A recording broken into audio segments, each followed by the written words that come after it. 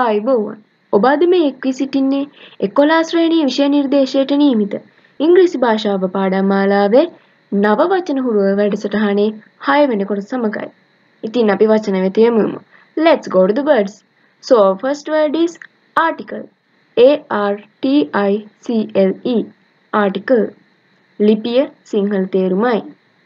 මෙහි ලිපිය යනුවෙන් සඳහන් වන්නේ අපි පෞද්ගලිකව ලියන හෝ රාජකාරිය ලියන ලිපි නම් නොවේ.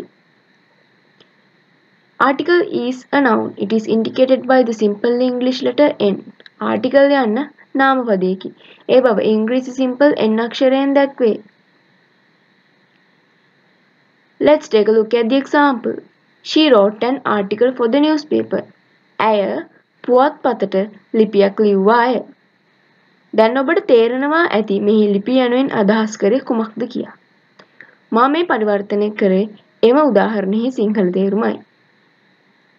So our second word is timely topic. T I M E L Y timely topic. T O P I C topic. timely topic යන්නෙහි තේරුම කාලෝචිත මාතෘකාව. එනම් කාලීන මාතෘකාව යන්නයි. Timely topic is a noun. It is indicated by the simple English letter N. Timely topic යන්න නාම පදයකි. ඒ බව ඉංග්‍රීසි simple N අක්ෂරයෙන් දැක්වේ.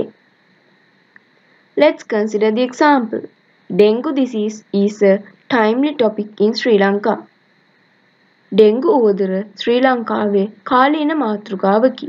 මේ එහි Sinhala තේරුමයි. Our last word is interesting.